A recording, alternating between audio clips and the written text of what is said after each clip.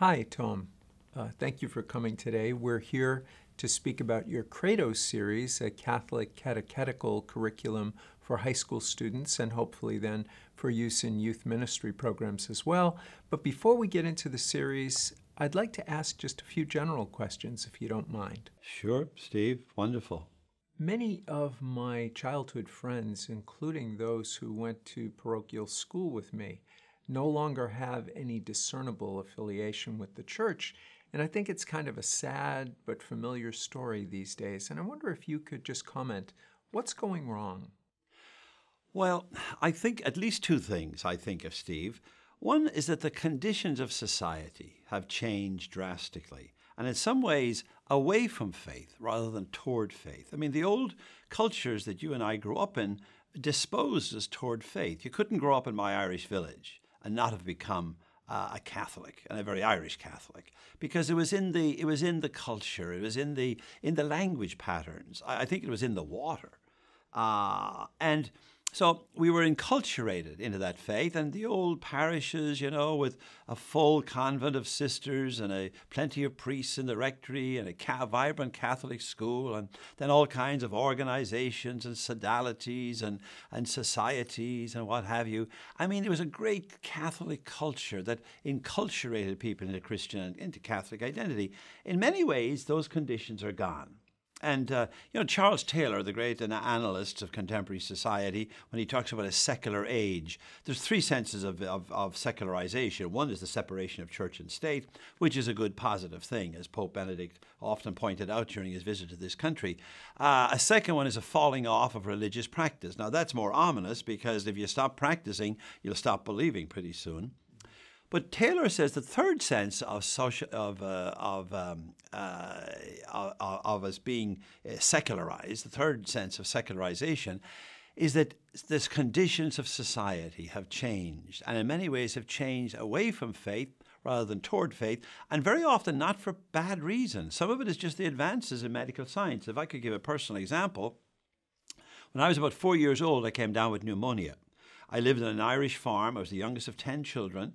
My father was away in Dublin in, in, the, in, the, in the Parliament, and my mother was home alone a winter's night that had already lost a little daughter to pneumonia a few years prior.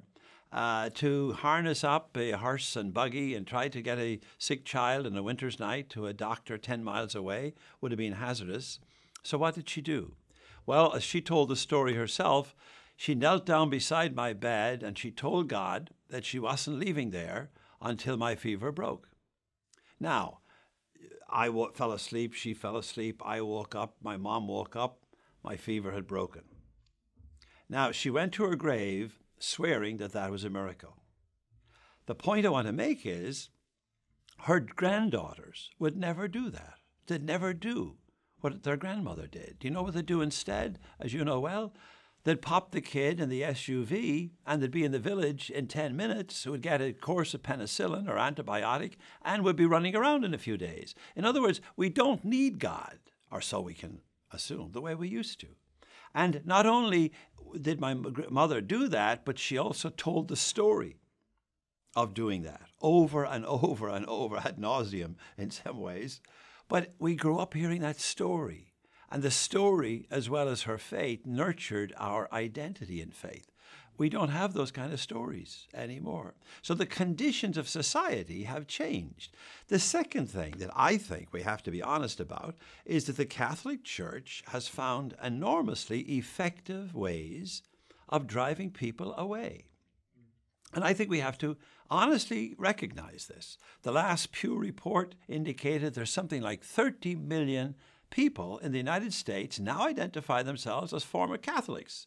Now, what are we doing that is so effective in driving so many good people away? And the statistics indicate that 74% of them end up joining other Christian uh, communions of faith. In other words, these are not people who lose their faith.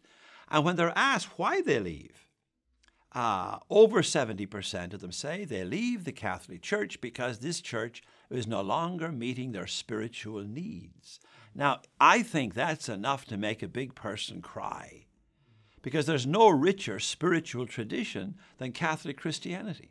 There's nothing more uh, lavish and more resourceful and, and more of, of a tremendous treasury uh, than what we have by way of spiritual practices and charisms and traditions. And as I often say, if you don't like one, you can pick another. If you don't like the Ignatian, you can pick the Carmelite or the Benedictine or the Franciscan or whatever is your pleasure. I mean, for people to be leaving this church because their spiritual needs are not, uh, not being met is just tragic. So, in other words, the church has to face there are certain things we're doing that are driving people away. And I always say it's better to bring people along than to drive them away. And we're talking about issues and things that I think on the hierarchy of Catholic truths are very near the bottom rather than near the top. And I think this is maybe what Pope Francis is trying to do for the church. And that is to stop talking about these things that aren't that significant to our faith and yet are pushing people away and instead begin to talk about, well, what Pope Benedict talked about as a positive orthodoxy to be able to present this faith in ways that say, hey, this is a fantastic way to live your life. You can find no better way to live your life than the way modeled by Jesus of Nazareth. And, when he said, I am the way, the truth, and the life, he wasn't kidding. And not only did he model it, but we believe by his dying and rising made it possible. So it's a great way to live, but we don't talk about it that way. We present it as do's and don'ts and all the controversial issues. We're out there, you know, our official church most of our membership uh, don't agree with the official, uh, official church on those controversial issues, like birth control, for example. And yet we're still shouting about it, and in many ways, simply driving people away. Far better to bring them along.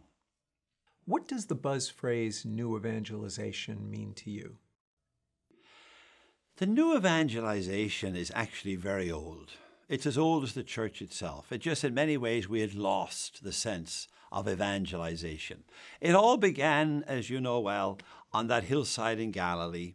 Uh, Matthew 28, when the risen Christ gathered the little remnant church and he gave everybody present the great ultimate evangelizing mandate. Go out to all the nations and proclaim the good news, and go out and teach all nations, and teach them to observe all that I have commanded you. You know, baptize them in the name of the Father, Son, and Holy Spirit. In other words, take them into the community, and I will be with you always till the end of time. The point I would like to make about that text, Matthew 28, 16, and the following, is that he gave that mandate to everybody there present. In other words, the responsibility to share this Christian faith of ours comes with baptism.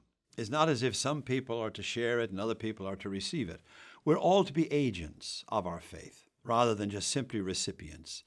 And um, over time, we came to reduce evangelization. Well, the typical meaning was about bringing people into the church, and especially sending missionaries off to Africa or Asia or some place that had not been already Christianized to get them to get people to join the church. Now, that's a valid meaning of evangelization.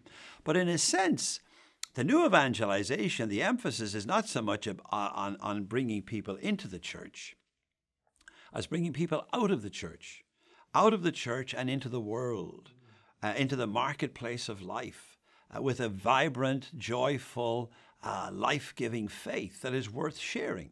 And that everybody has this responsibility to take their faith and to put it to work in the ordinary and everyday of life, in the marketplace of life, uh, and, and, and in the public square of life. And you see, we've been often being, he- and you see, we're all in need. We're all supposed to be evangelists, so we all to, are to evangelize, but we're also constantly in need of evangelization. In other words, my faith journey is lifelong. So it's not as if I've reached a point of arrival and I can rest on my oars. No, our hearts will always be restless until they rest in God as Augustine would have it. So, in a sense, all of us are evangelists, all of us need evangelization.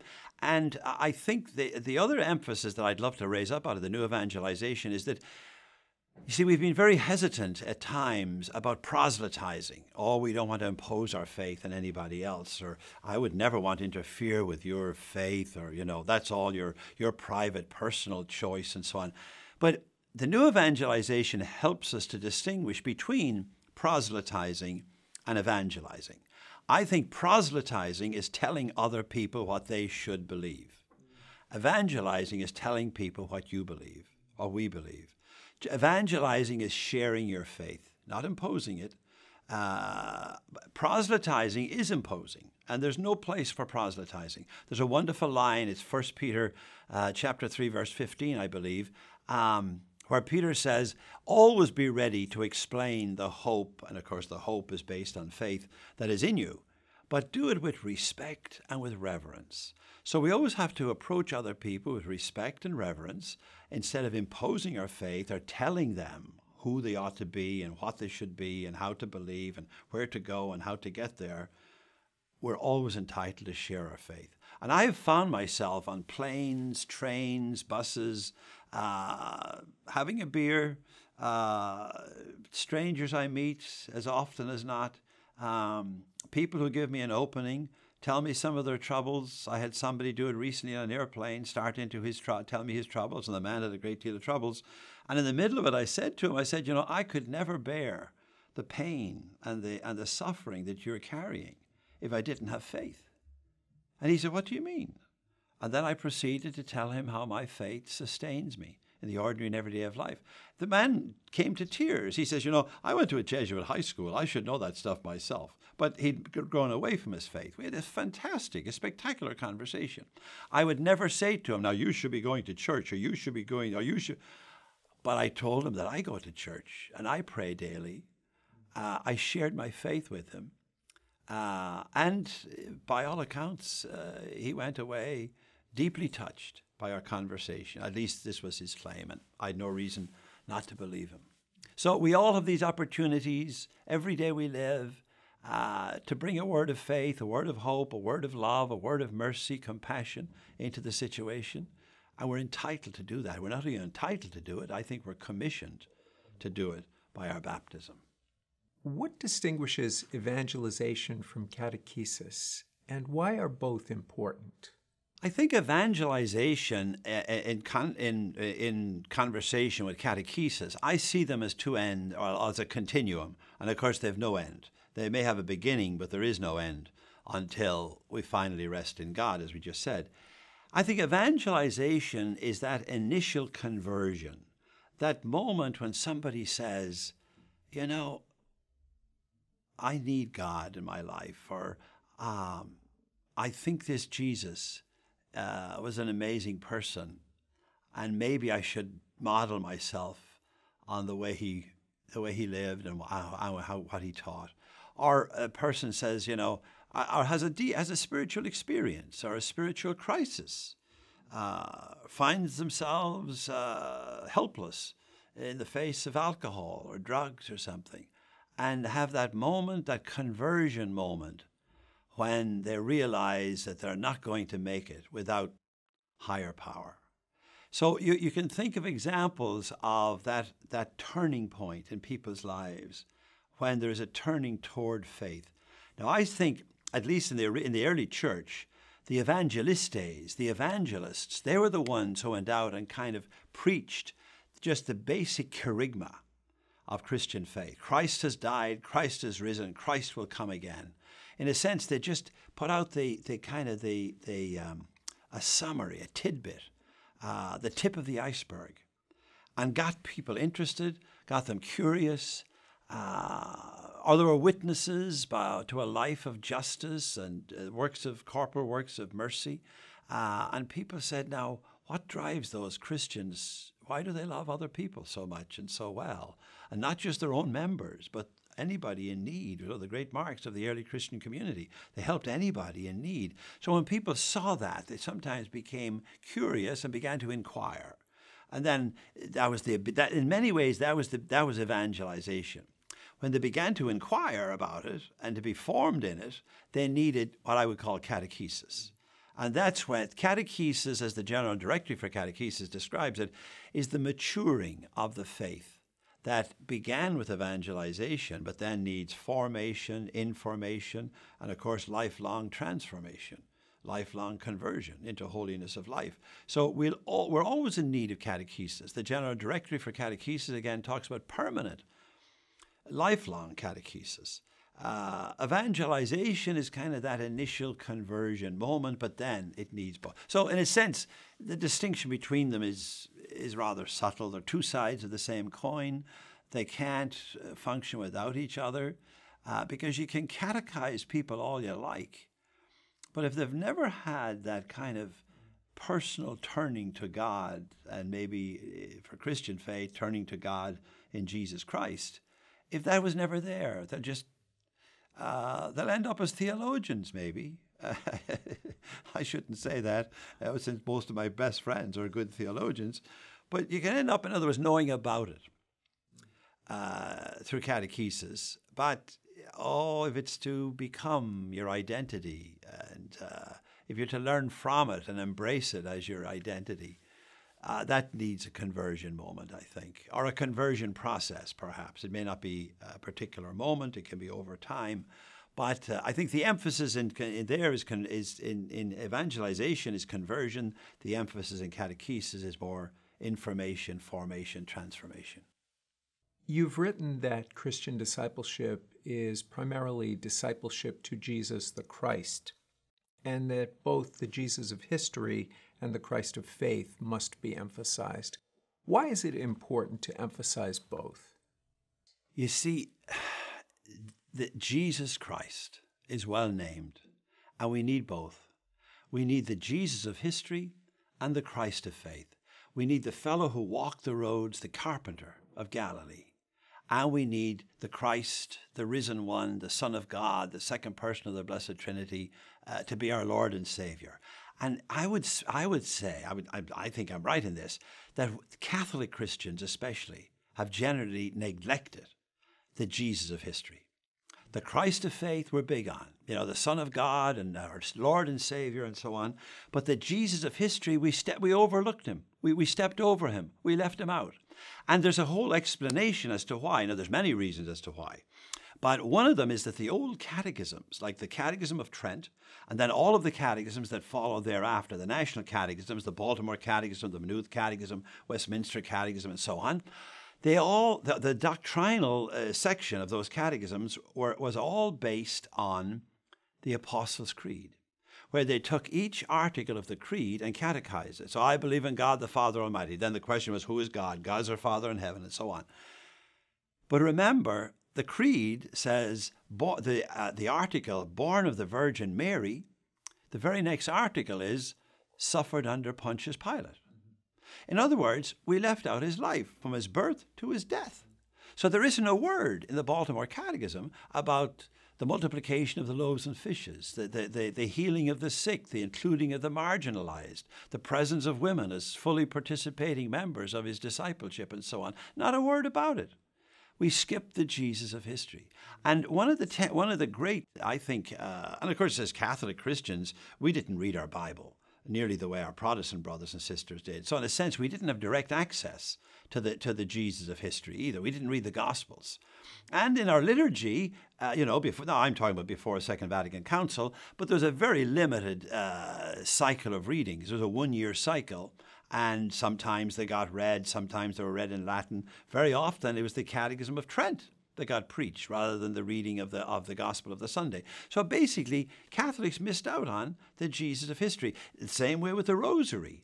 Uh, the, in many ways, the Rosary was the operative Christology for many lay Catholics. But the, the, the fifth joyful mystery is the finding in the temple when he was 12 years old. The next mystery uh, is the is the, uh, the, the agony in the garden, the first sorrowful mystery. So we went from when he was twelve to when he was dying, which I thought was significant when Pope John Paul II introduced five, five luminous mysteries, all of them focusing on the public life of Jesus. So for Catholic Christians especially, we have to return to Jesus. We have to turn to Jesus. We have to fix our eyes on him. And in many ways, I think that's what Pope Francis is doing for us. He's bringing us to the Jesus of history to this uh, fellow who favored the least, the lost, and the last. And, and included the marginalized and, and uh, welcomed the sinners and compassion for all and fed the hungry. Only two miracles reported six times in the Gospels the resurrection and the miracle of the loaves and fishes.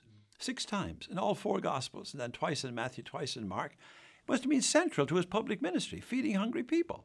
And then, of course, if you say you're a disciple, hey, guess what you've got to do? So, in other words, we've got to reclaim discipleship to Jesus Christ. When we think about being Catholic, we have to think of it first and foremost, not as joining the church. I have a friend who recently became Catholic, and I said to him, What does that mean for you? He says, Well, I'm joining the church. I said, No, you're becoming a disciple of Jesus. Uh, now, to do that, well, of course, you'll need a church. And you need a church with, with great stories to tell and sacraments to celebrate and, and uh, models to propose and, and uh, people to pray with and support you and dogmas and doctrines to understand your faith and so on. But becoming a Catholic is not about, about joining the church. It's about becoming a disciple of Jesus, first and foremost. And this is what the Catechism says. The Catechism of the Catholic Church puts it beautifully. It says at the heart, it says it, that the heart of our faith is not the Bible, it's not the sacraments, it's not the commandments, it's not the church.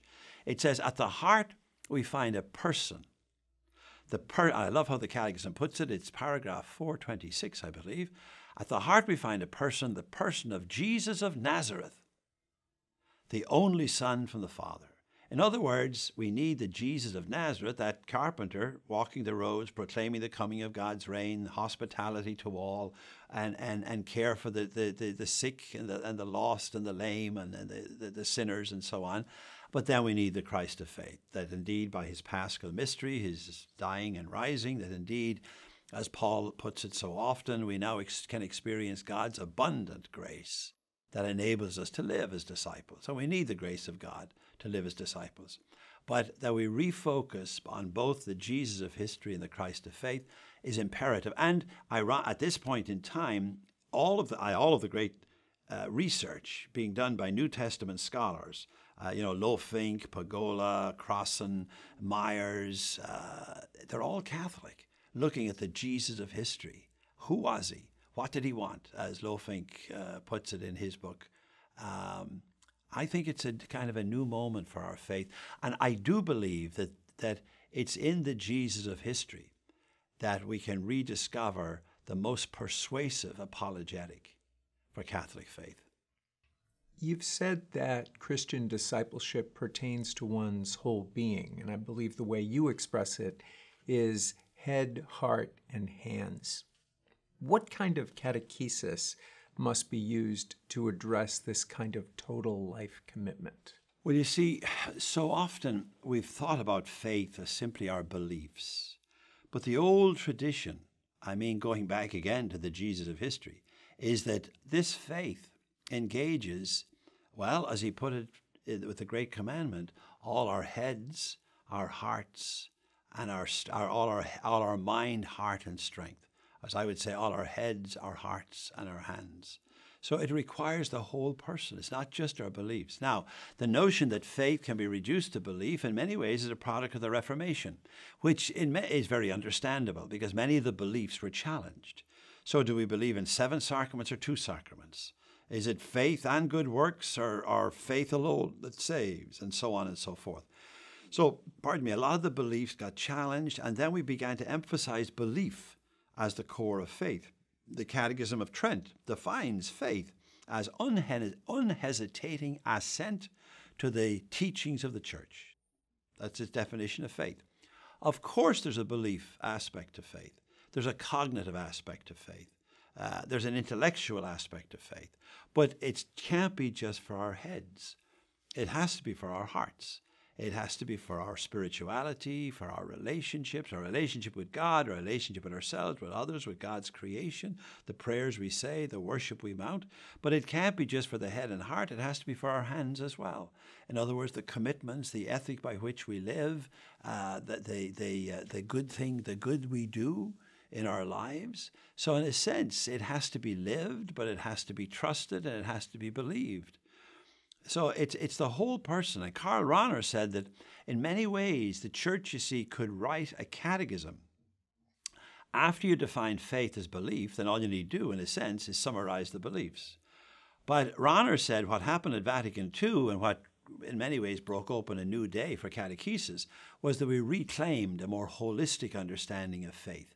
And so, if, if you're going to talk about faith being uh, cognitive, affective, and behavioral, rather than simply cognitive alone, then the catechesis that would encourage such a holistic faith has to engage not just people's heads, but their hearts and their hands, their commitments as well. So, in a sense, you have to connect faith with people's ordinary everyday lives in ways that touch that touches their souls, that goes into the depths of them and into who they are and nurtures their identity rather than just teaching them uh, what to believe.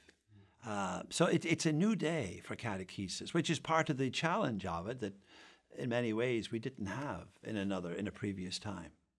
Also, on the topic of discipleship, it's always intrigued me that the Greek word mathetes, which is rendered in the New Testament as disciple, can also very rightly be translated as an apprentice who listens. And I wonder if you could comment on what role listening plays in faith formation. I think that listening is imperative to faith formation and, of course, opening our hearts to receive the Word of God uh, is imperative. Uh, as uh, Psalm 91, I believe, puts it, if today you hear God's voice, harden not your heart. So, in a sense, all of us have to be constantly open uh, to the possibility of a word of God touching our lives.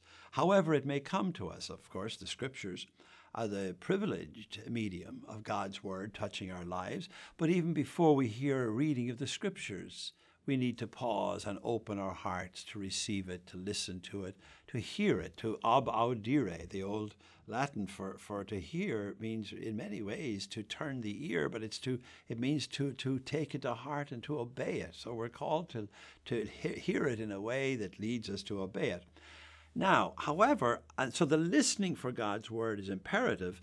But uh, you see, I would say in our time that part of the challenge is not just simply telling people and getting people to listen, I think we have to move them into agency for their faith. Rather than being simply recipients, listeners to it, I think they have to become actively engaged in the process of encountering the faith. In other words, my job as a catechist is to give people ready access, which is a, lovely phrase from the Second Vatican Council, to the Word of God. But that will often mean not just telling them what the Word is, but bringing them to the Word and getting them to bring their lives to the Word and to, to then discern how this Word could be a Word of God for their lives. Uh, for themselves, so that people come to see for themselves. So rather than simply being told, now, of course, there's room for proclamation, there's room for telling uh, and preaching and teaching and so on. And yet, I think in this day and age, we're called beyond that simple proclamation to enabling people to become agents of their own faith and to give them the, the tools and the, the resources uh, to go to the Word and to go to the tradition and to encounter it uh, heart to heart and come to see for themselves uh, where they're called and how they're called to live their faith rather than simply being told. Is it more difficult to listen fruitfully to the story of Christian faith with all of the distractions inherent in our postmodern world? I think our postmodern world offers great challenges uh, to people coming to faith, to people hearing the faith, encountering the faith, taking the faith to heart. Uh, I mean, the first mandate in any process of knowing anything is to pay attention. It's increasingly more difficult, I suppose, with all of the distractions that we have, to get people to pay attention. A friend of mine who runs a retreat center uh, for young people and uh, often has six, seven hundred young people on a weekend in his retreat center down in Long Island. He says that his biggest challenge is just trying to get them to stay off the, the iPhones. He says Friday evening, they usually put them aside, but by mid morning Saturday, they're there looking up at you, but really texting each other, the person beside them. Uh, how do you break into that? Well, we, we, first of all, this is not going to go away. So the digital age and all of the modern means of communication are here to stay. And the good Catholic attitude toward them is thank God. Now, they could bury us, or there could be a new moment. I think we have to learn how to take these media and distractions, as we call them, and turn them into assets and, and, and resources for ways that could give people more ready access to the Word of God, uh, that they, they're not as dependent, they can be agents of their own faith, and so on. So there's certainly a huge level of distraction. But I think an old spiritual director I had one time, uh, when I was told him about my distractions at prayer, he said, Tom, you've got to start praying your distractions. In other words, when you get distracted, well, start talking to God about the distractions. So you're focusing a scripture text and you start thinking about, you know, a friend who is sick. Well, hey, start praying for your friend who is sick. So, in a sense, we've got to learn how to take what could be distractions and turn them to assets. And I think the contemporary media has the extraordinary potential uh, for doing that. In a related question, what are some of the distinguishing characteristics of 21st century learners? And if we want to get even more particular, the distinguishing characteristics of 21st century high school aged learners? See, we have a new type of learner, there's no doubt about it, than we had even 50 years ago, never mind 500 years ago. Um, and we all wring our hands about postmodernity and secularization and so on. But and there are definite challenges in the secularizing age and the postmodern world, etc. But there are also assets. There's also potential and possibility here. Like uh, the postmoderns are much more disposed and open to the spiritual than modernity was.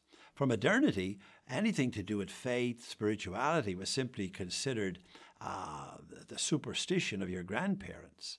And as soon as you got a bit of enlightenment, you'd, you'd put them aside. So the great critics, Marx, uh, Freud, Nietzsche, and so on, they all looked upon faith and spirituality with great disparagement. Postmodernity takes a very different tack.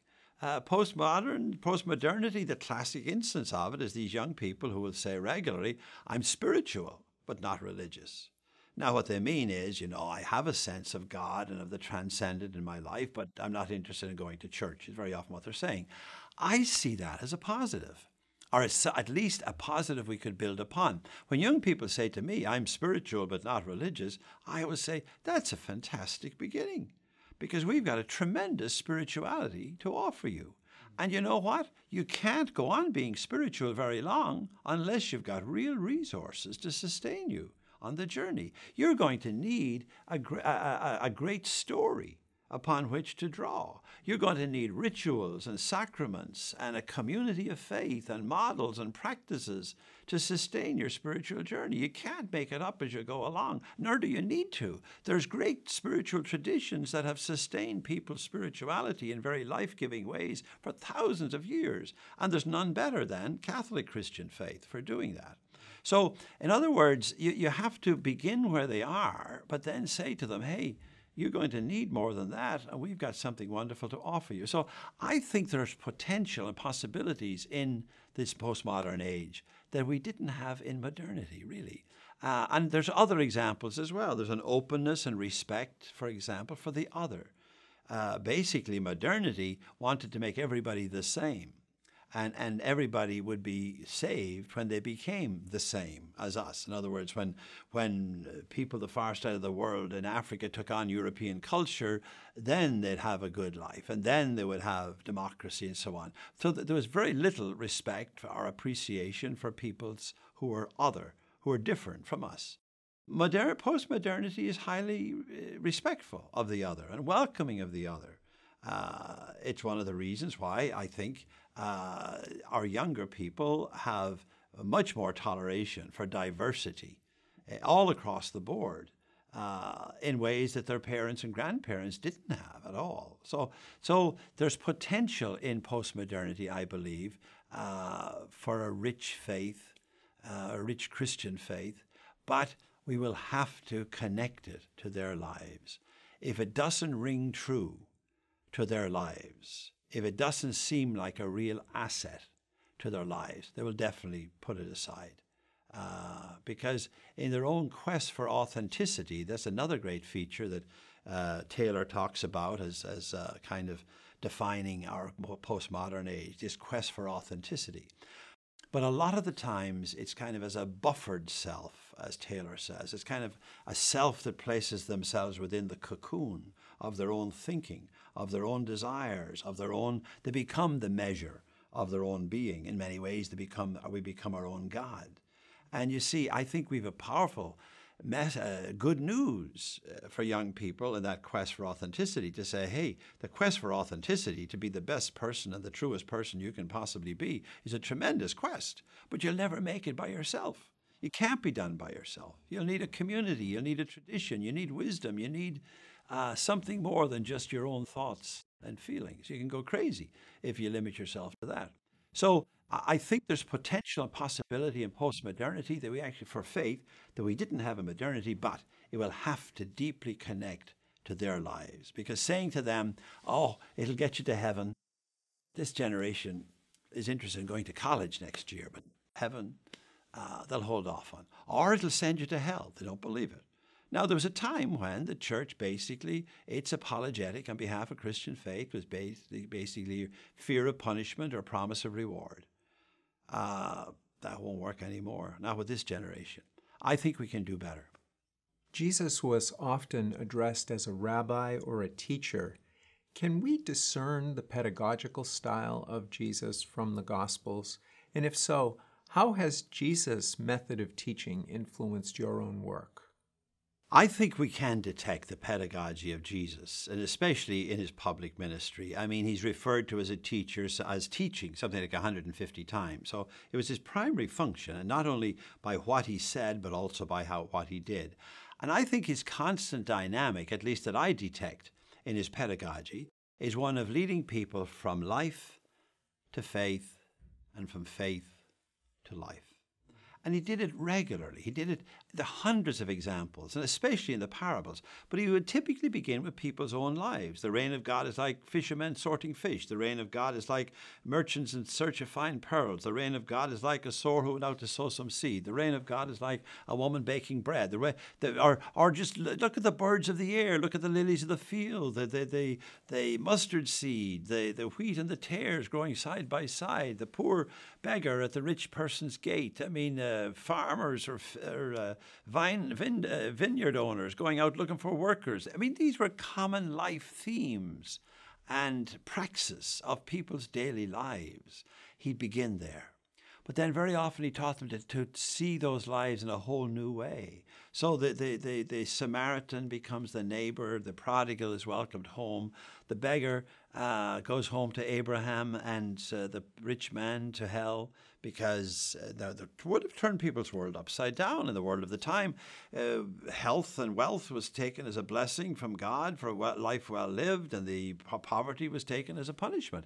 So, getting people to see in a whole new way, and yet he also taught them with authority. He wasn't just a discussion leader, getting the people to look at their lives and reflect on them. He also taught them. Uh, as it said, with, with, well, it says right at the beginning of Mark's gospel that he taught them with authority. Chapter 1, verse 21, 22. Um, and you see, he was teaching that this inbreaking of God's reign, that now is the time of fulfillment.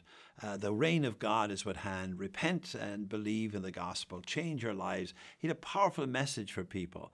But he brought it began with our lives, shared this powerful gospel, this good news with them, but then constantly invited them to bring that faith back into their lives as a lived life, as a lived faith. Uh, and and uh, inviting them to decision. Uh, all the parables, uh, in a sense, are a call to decision, to, to, to live it or not to live it.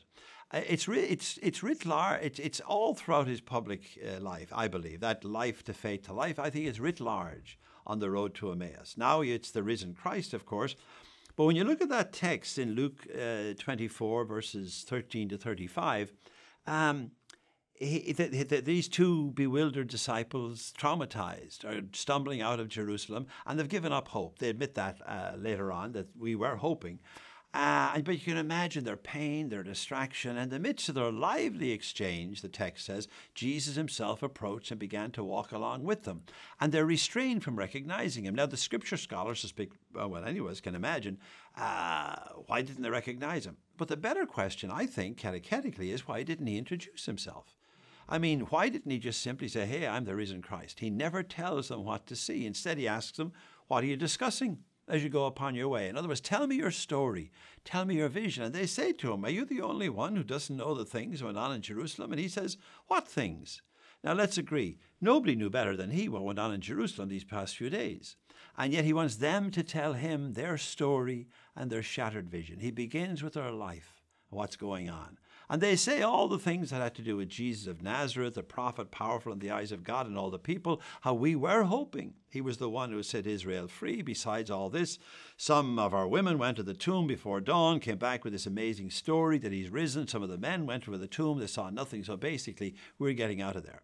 So, in a sense, he gets their own story and vision on the table. And only then does he begin to explain the scriptures to them beginning with Moses and all the prophets. He interprets for them every passage of Scripture that referred to himself and explained that the Messiah had to so suffer so as to enter into his glory. So, in a sense, he set up a dialectic. They were hoping for a political Messiah to set Israel free. He's talking about a suffering servant Messiah. So, there's a bit of a tension here now, but you've got their own life on the table, you've got the faith handed down on the table. He still doesn't tell them what to see but waits for them to come to see for themselves, which they do. When he seats himself with them at table, he takes it. Regarding the bread, he takes it, blesses it, breaks it, gives it.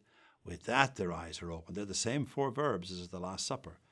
And their eyes are open and they recognize them and, and they, they see for themselves who it is, which, of course, whereupon he vanishes from their sight.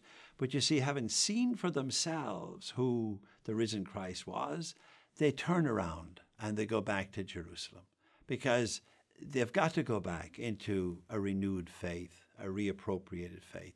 It's a wonderful example of, now it's a great example of a liturgical text, of course. Uh, the liturgy of the word is on the road, the liturgy of Eucharist at the table, but it's a powerful catechetical text and the dynamics of it. He led them from their lives to the faith tradition and then to see for themselves and to come back into a life of faith, to return to Jerusalem and to their original commitment.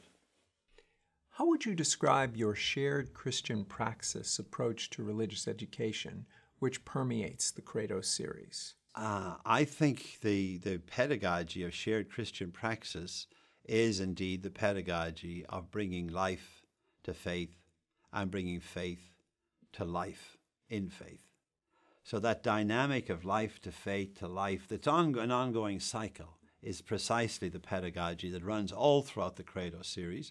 And it's the one that I suppose I've given my life to and trying to uh, promote it, encourage it, uh, educate people in it, uh, figure out how to do it effectively all across the board. I've, I've written a kindergarten book and I've written uh, doctoral doctoral PhD seminar texts, and uh, the work has been used across the board as a consistent approach, enabling people. You see, the Second Vatican Council in uh, Gaudium et Spes, I believe was paragraph 43, said the greatest error, one of the greatest errors of our age is now you think in 1965 they'd say communism or materialism or consumerism or individualism.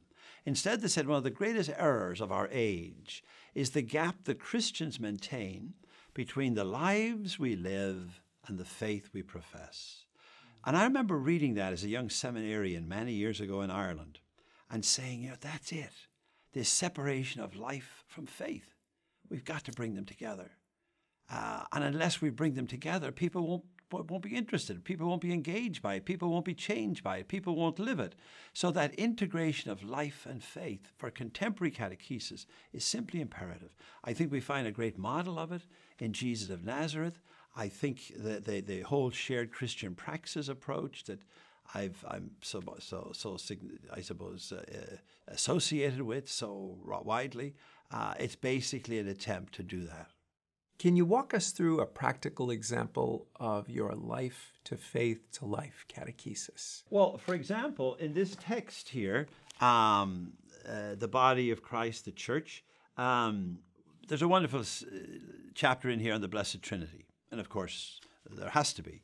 But instead of a more traditional catechesis where you'd begin and you'd explain the Blessed Trinity, uh, to the students, and it's a oh, it's a it's a sophomore, junior high school tech, so you should be fairly uh, upgrade in your theology, and you'll be talking about circumincession and perichoresis, and you'll probably go through, you know, the great councils and and uh, Nicaea, but then Constantinople, which in a sense uh, makes it more explicit that both Father, Son, and Holy Spirit are are one God and yet three divine persons, and uh, and so on, and the circumincession and the relationship between. So you do all of that, but you see, that's not where we begin at all. This lesson in here begins by getting young people to talk about their own relationality, their own identity as relational beings. Why are we relational? Why can't we keep to ourselves? Why, why aren't we self sufficient? Why, why are we made for each other? Why do we need other people? How are your relationships? What kind of relationships are life giving? What are destructive? How do you know the difference between them? Uh, know there's a whole reflection. Of course, there's you know there's contemporary music and songs and examples and stories and all kinds of things. Getting people to talk about their own praxis, their own life of relationality and what are life giving and what are good and bad relationships and dangerous and true and so on, beautiful, life giving. Uh, it's only after the, reflecting on that aspect, that the great, that generative theme, as Paulo Freire would call it, of relationality, only then do we start talking to them about the relationality of God. That God, even within God's self, is a right and loving relationship of Father, Son, and Holy Spirit. and then always toward us, the economic Trinity is a God of right and loving relationship. And if we're made in the image and likeness of a God of right and loving relationship, then obviously this has powerful implications for how we are to live. For so long we taught the Trinity as if it is just an old mystery we cannot explain. Now the theologians are saying it's a mystery that explains everything about who our God is and how we are to live as a people of God. So basically, then you move back to their own life okay, if, if you're ever to take seriously the notion of a triune loving God, what does that mean for us? How does it call us to live? How does it empower us to live? What does it model for us? Where does it invite us? What decisions do you need to make in light of the Christian dogma of the triune nature of our one God? And so, in other words, you leave them from life. Now, I'm summarizing, of course, and there's 14 pages of a chapter and so on but you lead them from life to faith and then back. Hope I invite them then to a life in faith. What can you tell us of Credo's genesis and development, and what sets it apart from other catechetical curriculum? Credo is a response by uh, a wonderful publishing company named Veritas. Veritas is originally owned by the Irish Bishops' Conference, but they have a growing footprint in other parts of the English speaking world, the United States, Australia, New Zealand, South Africa, and so on. So Veritas USA took up the challenge that the U.S. Catholic Conference of Bishops issued when in, in 2007 they published what they called a framework for high school, for a framework for adolescent catechesis. So the USCCB came out with this framework for the, the comp, uh, for a comprehensive high school curriculum or for high school age. Now, it's to be used in Catholic schools, uh, theology curricula, but also in parish uh, youth ministry programs and so on. And most people in my field were highly critical of the of the framework, and for good, some good reason. It did look at times like a kind of a very ultra conservative, ultra orthodox document. I saw a great potential in it because I saw it having the potential of enabling young people to encounter a cumulative, comprehensive uh, and, uh, story and vision of their Catholic faith. That it, it, it in a kind of a, a properly scoped and sequenced way, would give them this sense of a comprehensive, in depth access and knowledge of their Catholic Christian tradition and the richness of it and so on having taught undergraduates here at Boston College for some 30 years, I, I was often terribly disappointed in the young people who would come into my theology courses, and very often they'd have AP in, in science and math, but they'd know precious little about their Catholic faith, even though they'd gone to good Catholic high schools. Oh, they'd have had a, uh, you know, an elective on marriage and something on world religions and something on relationships or who am I but the comprehensive knowledge wasn't there of Catholic Christian faith. I saw this framework as having that potential, so did Veritas. And in a sense, we got together and we decided that we were going to create a set of curricula. I mean, and we've created them painstakingly with great care uh, and, and uh, attention to the detail of the very faithful to the framework that the bishops are requiring. And we found that the framework made us uh, engage in a cumulative. So you begin with the kind of a fundamental theology, God and, and who is our God and how does God reveal God's self in Jesus and so on. And then you move to the life of Jesus and then you move to the Christ of faith and what he achieved and then how the church carries on this mission and then how the sacraments enable us and sustain us to do that and how living the way Jesus taught us, you know, the commitment to the morality and the ethics and the social justice and so on. So there's a great cumulative kind of um, uh, sequencing to it that one book builds upon another, and um, and also a great Christ, a Jesus Christ centeredness to it all. Uh, so the old text very often had a book on Jesus, a book on the church, a book on the sacraments, a book on morality. We have a book on Jesus, and then Jesus and the church, Jesus and the sacraments, Jesus and morality. So it's all Christological and Trinitarian in its kind of uh, in its organization.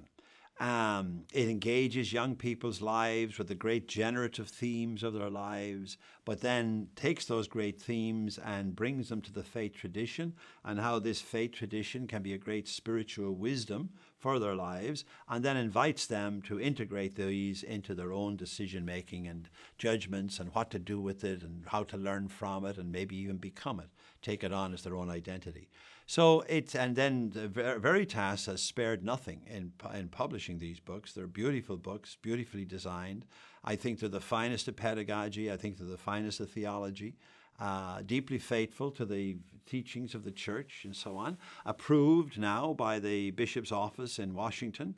Uh, I think of the seven books we've published, five of them have now been officially approved. The other two are awaiting approval. It's just that they it takes time. Um, we've seven books published and we've four more to go because there's there's a text for each uh, semester of high school and then there's three electives. So uh, it's a huge project, and uh, but we're getting there. Credo comprises seven books already, with four more to come.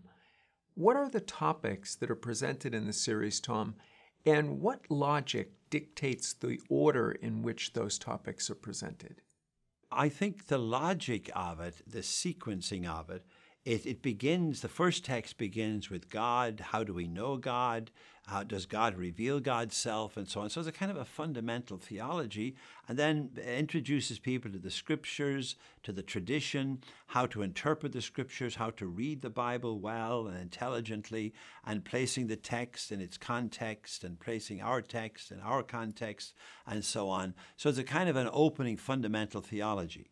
Then we move to Jesus, the Jesus of history uh, the historical figure. And now, of course, it's always the Christ of faith. So all of this overlaps, and yet there's a certain uh, sequencing in a logic to doing the Jesus of history. And then we move to, well, what did he achieve? Who is this Christ of faith and the work of our salvation, redemption, liberation, and so on, uh, and the sending of the Holy Spirit and the founding of the church, and so on. And then how does the church carry on this mission of Jesus, of God's saving work in Jesus Christ? How does the church continue that? And what does it mean to be church and to be uh, baptized in the church and in the Christian faith? What does it mean to be a disciple of Jesus, and so on? and then on into how the sacraments sustain us in living this life, and prayer and spirituality and our good spiritual practices, and the ethics of it all, the morality by which we are to live, the values, the virtues, the guidelines, and so on, by which we would live as disciples of Jesus. And all this, the central emphasis running through is what does it mean to be a disciple of Jesus? Uh, and that includes being a member of the church and celebrating the sacraments and so on. But the emphasis, the focus is on the, sac- the, discipleship to Jesus. And then the electives, so there there's six opening books, and then the electives pick up from there. There's an elective on scripture, there's an elective on just social justice, uh, there's a special book. Now, social justice runs all through the all the series. And likewise, the scriptures are constantly referred to and taught and so on. And yet, there's an in depth uh, text on, on, the, on the Bible, one on social justice, an in depth text on vocation. and the choosing of vocation and different kinds of vocations, uh, an in-depth te- text on um, on world religions, on ecumenism and outreach and conversation, dialogue with other religions, and then an in-depth uh, text on the history of the church. Again, lots of history runs through all of the texts, and yet there is a particular uh, elective on the on the hist- on the on church history. Um, it's very comprehensive, and uh, but constantly attempting to engage young people's lives so that they not just learn about history, names, dates, places, battles, or whatever, but that they engage the wisdom of each era, that they bring their own lives to reread that era, to encounter that era, uh, the Reformation, the, the whatever it might, the, medi- the medieval monks and monasteries, what can we learn from them rather than what do we learn about them? Uh, what of the monastic tradition is still tremendously life giving and could be tremendously life giving in our time and place as well. And so that life to faith to life type of pedagogy runs through all of the texts, even the ones that people might find challenging to imagine how to do that, but we're finding ways to do it effectively. You're the editor of the Credo series. Who are some of your contributing authors and what unique gifts do they bring to the task? Of the nine texts that we've now completed and the two that are being written, um, there are about um, get, uh, there are about 20 authors involved, 20 to 25 authors. Uh, I'm the general editor. I basically I outline each chapter. Each book has 14 chapters, 13 or 14, typically 14. Uh, each chapter is about 12, 15 pages of print and uh, graphics and design. I originate each chapter with a two or three page outline, and then I farm them out to other authors who write a first draft and give it back to me for editing. I edit, recast, rewrite, combine, whatever, and then pass it on to the publisher. Of those 25 other authors who are working with me, uh, I would say at least uh, 22 of them uh, are people who have either are currently in doctoral studies in religious education or who have completed doctorates in theology and education with us here at Boston College. So they're all Boston College. I think of the 25, I think there's three that are not Boston College graduates of our PhD in theology and education, are soon to be graduates. The advanced doc- uh, three or four of my advanced doctoral students are currently authoring texts throughout the summer and they make some money on it. They get a little, st- they get some stipend for it, but also it's a resource for them. But far more important, they're influencing uh, rising generations of young uh, Catholic adolescents by way of nurturing them in their faith. And they're very excited about doing that. So this is a BC originated series, uh, lock, stock, and barrel. Tom, you agree with the Catechism of the Catholic Church, which says that home is the first school of Christian life. Many of the students that you hope to reach with the Credo series, though, are coming from homes where faith isn't actively practiced or discussed. Is that a significant impediment? Well, it's a challenge. You know, if the faith is in the home, then you start 10 points ahead. Uh, but there's lots of evidence that indicates, and lots of research that indicate that uh, a young person who comes from a, a, home or a social context that is impoverished of faith uh, can still be touched in their own faith journey within the context of a good Catholic school or a good pastoral ministry, youth ministry program. Uh, there's lots of examples of it. And we've also had examples of young people who got re engaged with their faith, especially with an effective pedagogy, a pedagogy that makes the faith seem relevant, life giving, empowering, enabling, liberating.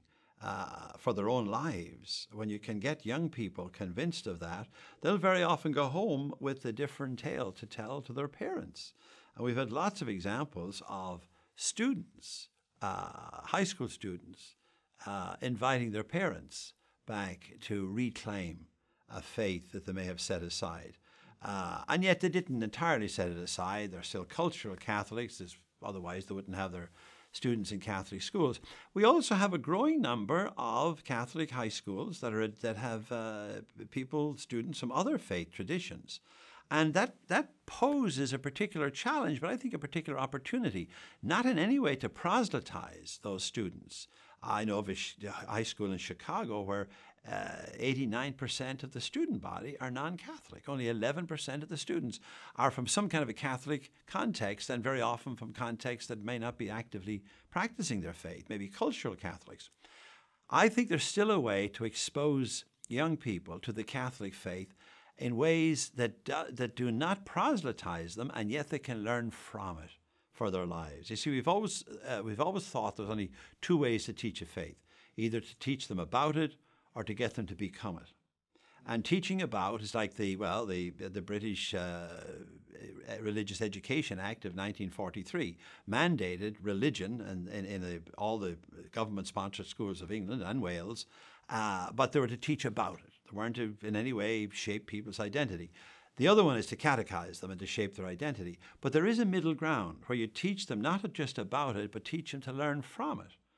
In other words, you don't interfere with their Buddhist or Muslim or whatever Baptist identity, and yet you say to them, This is a great, rich tradition of spiritual wisdom called Catholicism. You could learn from it for your lives. I think I did it myself here for 30 years at Boston College. I remember I taught a basic course called Catholicism for about 25 years. Catholicism one first semester, Catholicism two second semester. But I'd say to young people in my class, look, I want you to to be a better uh, Presbyterian or a better Buddhist, a better Jew, or McCarthy. You might become a better Catholic uh, from your exposure to this great tradition. And I was flattered. A young man, a young Muslim student, came back uh, a year ago. He was here back for his 25th anniversary, and he sought me out. And he came and he said, Professor, I want to thank you for making me a better Muslim. Because he said, You said at the beginning of your course in Catholicism that this could enrich my own faith and that my exposure to Catholic Christian faith could, uh, could, could enrich and enhance my own Muslim identity. And he said, I was not an observant Muslim at the time, but I became one by the time I left Boston College. And he said, Your own course was a catalyst. I was very flattered.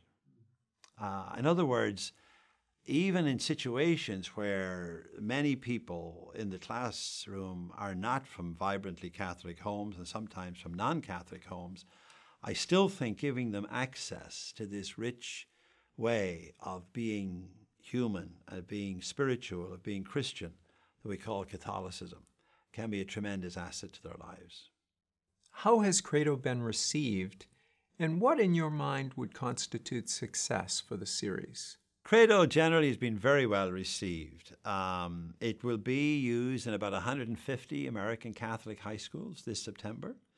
Uh, so that's about probably about a quarter of the of the market, to put it that way. Uh, I think that percentage will grow. Uh, it's been slow, uh, but we've done it slowly. You know, we've taken five years to create it. We've done about two books a year. So rather than taking an old curriculum, which some publishers did, and simply recasting it to look as if it's meeting the bishop's uh, framework, we started from scratch and have carefully crafted curricula based on the framework that, and based on good pedagogy and good theology as well. So it, has been a slow burn, but I think we're making real progress on it. Uh, and I think the people who've been most pleased with the texts are the students. So the feedback we get from students, teachers can find the pedagogy somewhat strange, especially if you're accustomed simply to going into a classroom and simply laying out the faith in a very didactic kind of teaching as telling type of way. So this is a much more participative type of pedagogy. There's lots of room for telling, and there's lots of room for accessing the tradition, the tradition and teaching it clearly. But it's done in the context of young people's lives and for the sake of young people's lives. Some teachers can find of more traditional bent can find that a bit strange. Of course, if they were ever uh, any good exposure to John Dewey, Paulo Freire, Maria Montessori, any of the great philosophers of education would greatly praise and and uh, and indeed bless the pedagogy we're employing. Um, but it's been generally very well received, and especially by the young people who are find themselves engaged by it. Editing a work of this magnitude is a huge undertaking what makes it worth the effort? I think what makes it worthwhile is giving good textbooks into the hands of teachers. Ultimately, curriculum publishers have a huge influence on what gets taught and therefore on what gets learned. In many ways, education is, is controlled by the curriculum. And so to give teachers a good theologically sound, theologically sophisticated, pedagogically effective, psychologically appropriate to the age level, culturally attuned to youth culture, uh, with lots of examples and echoes and songs and stories and all kinds of, of, of youth culture resonance there as well, bringing young people into their own identity and faith and so on. I think giving teachers quality resources, and these are high quality books, even a flip test through them, you'll see the quality of the, of the graphics, the design, the art, and so on. Giving young people, giving teachers that kind of resource, I think strategically is enormously uh, significant and influential, and hopefully will bear, by the grace of God, will bear much fruit. The title of one of your books, Will There Be Faith, recalls Luke chapter 18, verse 8, wherein Jesus reflectively asks that very question about the time when he will return to earth. So let me ask you, as an expert in religious education, will there be faith? Ah, by the grace of God, there will be faith, but we can't take it for granted. It, Jesus himself posed the question when he comes again, will, he find, will the Son of Man find faith on earth? And I think that's become even more urgent in our time. Uh, and we can't be sanguine about it or um, uh, just presume that God will see to it. There's vast areas of our world that once had vibrant Christian communities and no longer are so uh, North Africa in the time of Augustine, France, uh, my own native Ireland. I mean, there were parishes in Dublin that had 80% mass attendance only 20 years ago. Now they're down to 10 or 12%. Uh, Quebec, great, you know, there's all kinds of, so we can't be, uh, we can't rest on our oars by way of this, of this faith of ours. We have to be proactive. I think we have to be effective in this world so going back to old ways that were effective one time uh, is just a nostalgia that won't serve us well. But we have to accept the challenge of our time and by God's grace see to it that indeed uh, there will be faith. But uh, it's not something that we can simply presume upon. Uh, there's an old sin of uh, presumption, and we could readily commit it in this regard. Tom, as a scholar, what value do you place on research libraries and the resources that they provide? Ah, they're our lifeblood. The, re- the libraries are our lifeblood. I mean, we couldn't do the work we do without them.